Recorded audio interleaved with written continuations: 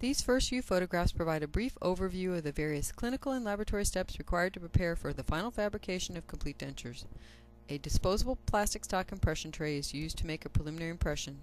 Preliminary casts aid in diagnosis and the fabrication of custom impression trays. A border molded custom tray is used to make a final impression. Monophase Aquasil is the final wash material. Master casts are fabricated and ready for recording the patient's maxillomandibular relationship. A record is made at the proposed vertical dimension of occlusion. A face bow is used to mount the maxillary cast to the articulator to duplicate the patient's arc of opening and closure. The mounting of the mandibular cast is completed using the record. The cast and articulator are prepared for submission to the dental laboratory. A work authorization guides the technician in fabricating trial dentures for evaluation in the patient's mouth. Aesthetics, phonetics, and the maxillomandibular relationship at the proposed vertical dimension of occlusion are assessed and finalized in the trial denture prior to dental laboratory submission for processing and finishing. The trial dentures are removed from the articulator and prepared for flasking. The process of flasking will create a split mold.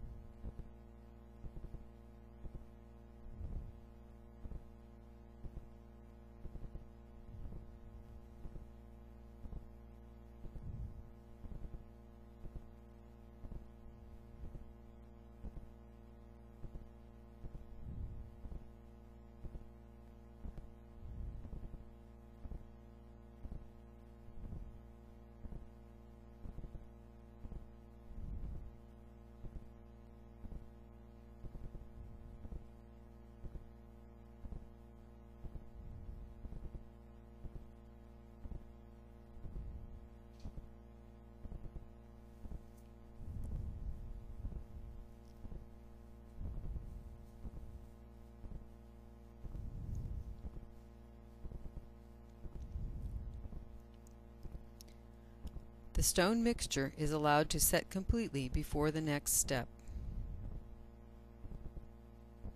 The flask is placed in boiling water to soften the wax and facilitate separating the flask halves. Both the wax and record base are removed and discarded. All residual wax must be re carefully removed and thoroughly cleaned using this method.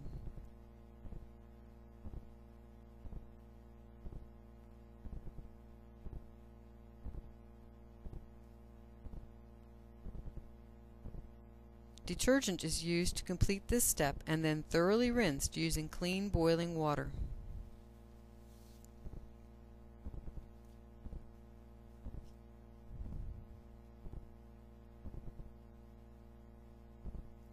While the flask halves are still warm, a separator is applied. Al-Cote is sometimes referred to as tinfoil substitute. This split mold is now allowed to cool completely prior to the next step. The denture teeth are cleaned with monomer prior to the trial packing procedure.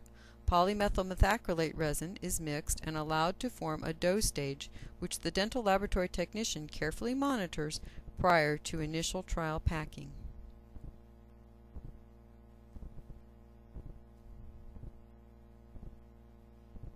The acrylic resin is placed in the flask half containing the denture teeth and a plastic sheet is used to prevent the material from adhering to the master cast in the other flask half.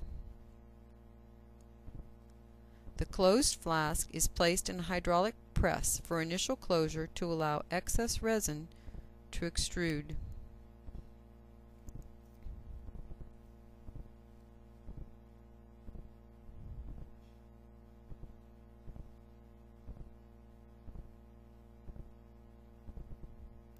The flask is removed, reopened,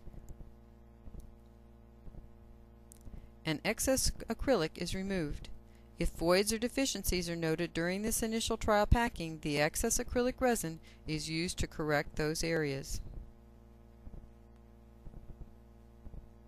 With the excess acrylic resin removed, the flask is again closed.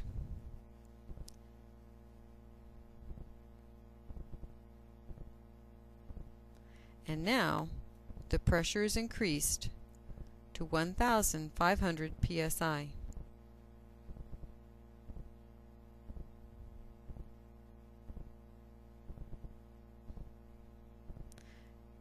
Excess acrylic resin is again removed prior to final flask closure.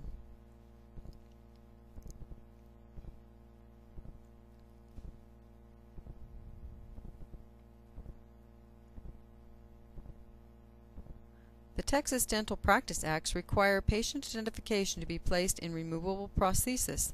Therefore, the patient's name is incorporated into the denture base as illustrated.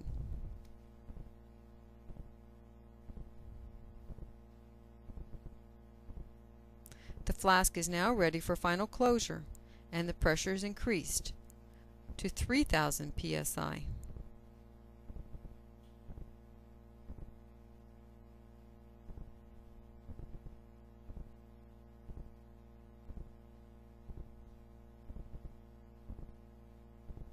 The flasks are pla placed, placed in a press and readied for processing.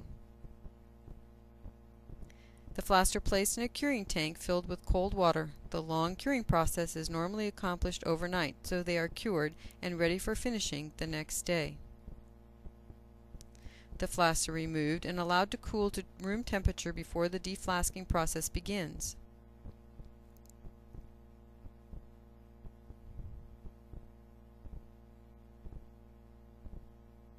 The stone mold is removed from the flask.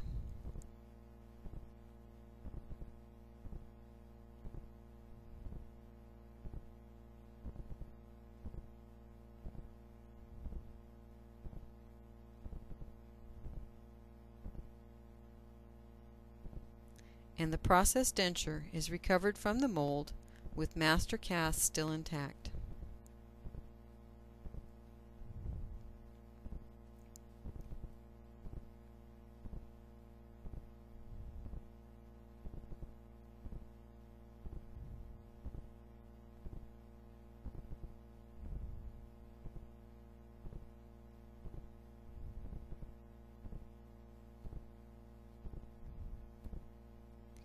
The dentures are returned to the articulator to correct for any laboratory processing errors.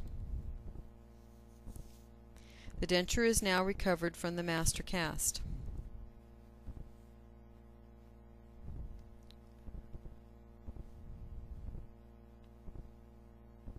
A thin layer of acrylic resin flash formed by the land area can be seen. The flash will be removed during the finishing process. The flash acts as an important guide for the technician to preserve the denture border created in the final impression and subsequent master casts.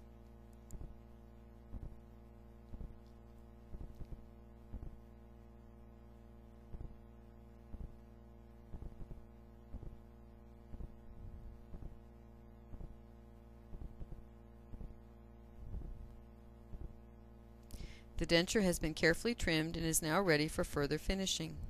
The circled area shows small pieces of stone which remained adhered to the denture base and must be removed prior to proceeding. Walnut shell pieces are used under high air pressure as an abrasive to dislodge the stone without damaging the denture base.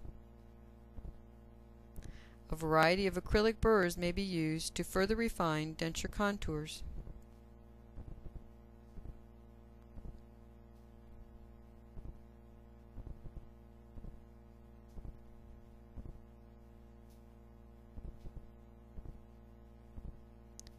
Abrasive rubber points and wheels may be used to begin finishing what is referred to as the cameo surface of the complete denture.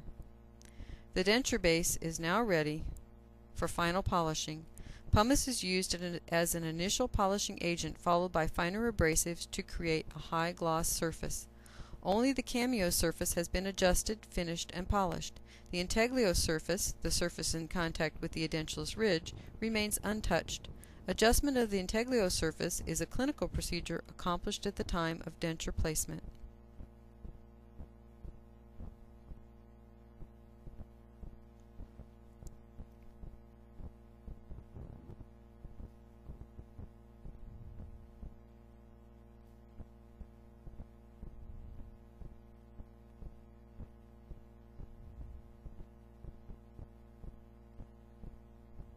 The denture is now ready for surface disinfection and is, in, and is sealed in a plastic bag. The denture is returned to the clinician for placement.